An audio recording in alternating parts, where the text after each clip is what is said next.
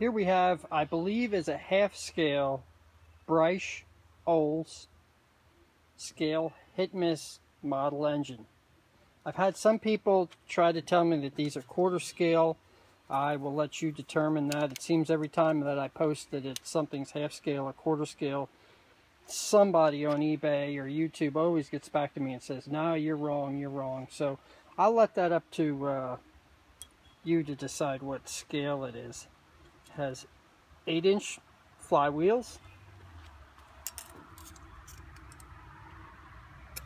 Oh, it measures about uh, just a hair less than 10 inches from side to side on the flywheels. And it stands stands just slightly under 13 inches tall. So you can be the one to determine what scale it is. I believe it weighs in at about 45 pounds. It's not a light one. Uh, well constructed. The fuel tank in the back. On the subject of the fuel, everybody always asks me what fuel I use. And I use uh, Coleman Lantern fuel. And in with that, I mix in a little bit of castor oil. That it would work out to like a 50 to 1, nothing more than a 40 to 1 mix. Just to provide a little upper cylinder lubrication. This one has oil cups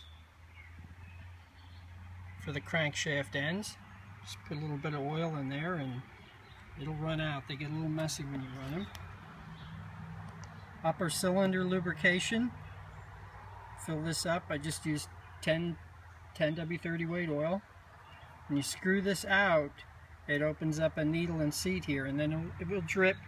You only need to turn it out just a little bit, and it drips oil in the upper cylinder for some more lubrication. This is to control, this setting here is to control the speed on the governor. You want to speed it up a little bit, you turn it in and increase the spring tension.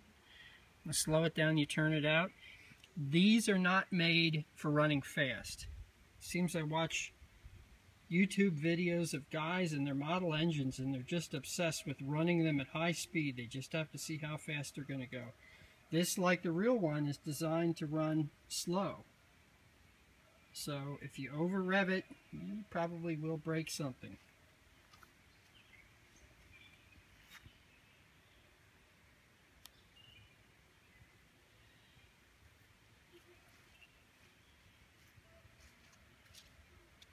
A miniature buzz coil and I'll talk to you about that in just a moment.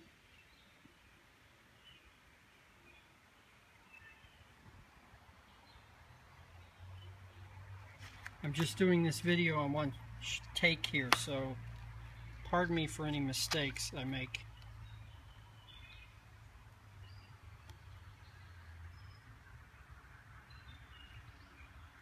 Now on the running of this motor, every every olds I've had like this, they, they're a bit finicky. If you want one that's going to run perfect right out of the box, don't get an olds. This is about the third one I have, and I have another one on my workbench I'm going to be taking apart and, and painting and constructing. They can be a little bit finicky. Uh, let's start with the buzz coil here. I have the power on right now. And if you don't hear this, there's an adjustment on the top of the buzz coil for the gap with the points. And let me turn this. I don't want to be on the compression stroke.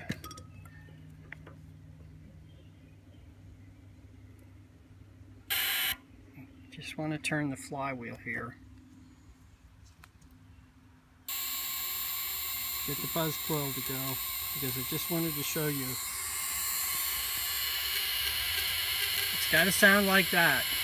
If it doesn't sound like that, you're not getting any spark to the plug. Buzz coil is adjusted by this. You're probably still getting some spark, but that's not the way it should sound. That's kind of weak like that.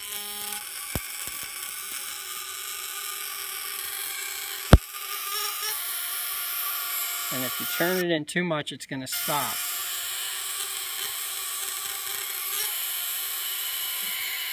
So since this, this is a scale buzz coil and it's kind of small, uh, it can be a little finicky. Finicky is the word for this motor. And it sounds like that, and you can pull the plug out and ground it and check. If I was to touch the wire right now, I'd get zapped. So it doesn't sound like that. When the points are closed, the points close and they complete the circuit. If it doesn't sound like that, you're not going to be getting any spark. Okay. On the fuel mixer. I think on these they call them fuel mixers. I like to call them carburetors, but uh, I guess there's a different terminology for the hit miss motors. On this one originally did not have a choke plate on it. And I made this choke plate for this one because they always seem to run best with a little bit of choke on them. Just so you're seeing the holes a little bit. You need a little bit of choke to suck the fuel out. When you first turn it over and you fill it up with fuel, just spin it over like once when you first put fuel in the tank, maybe twice, and you'll see the fuel travel up in the fuel line. And it's the reason I put in a clear piece of, semi-clear piece of line here so you could see the, if the fuel was sucking up there. If you turn it over any more than that with a choke on, you're going to flood it out. You flood it out really bad, you're going to need to take the plug out and clean it off.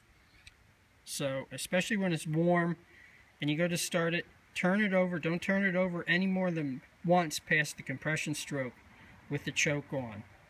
And open it up just part way and it'll start going. You have to turn it over a couple times. I don't think I'm going to be able to do it here right now holding the phone. But you bring it around to the compression stroke.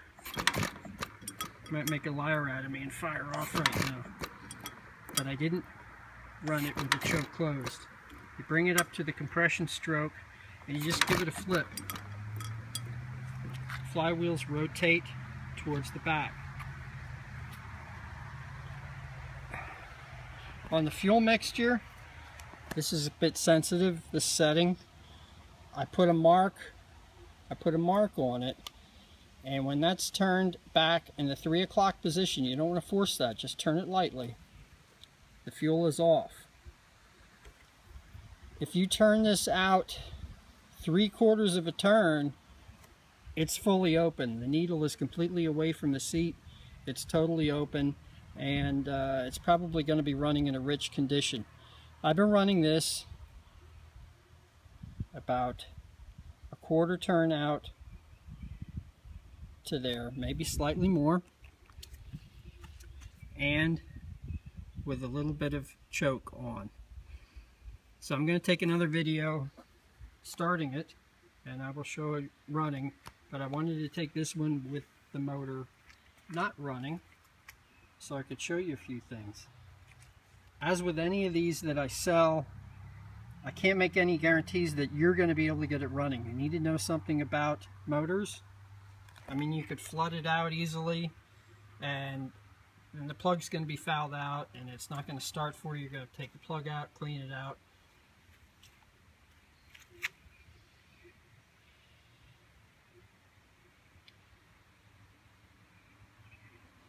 So like any of these that I sell on eBay, I do show them running. I will have a video posted in the ad showing it running.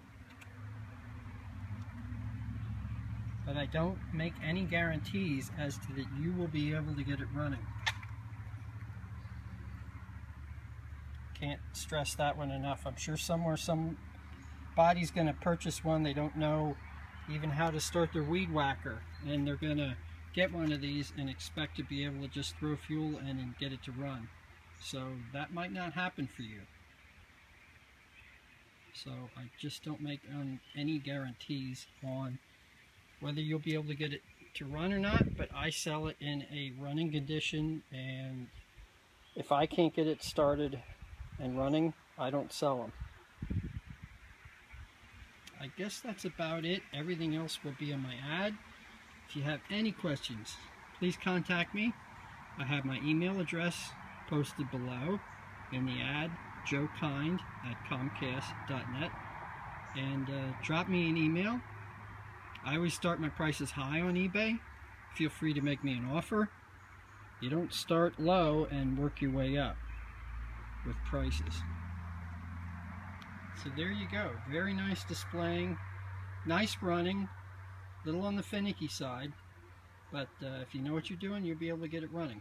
So check out my other video and I'll show you starting it and the rest is up to you. Hey, thanks for watching.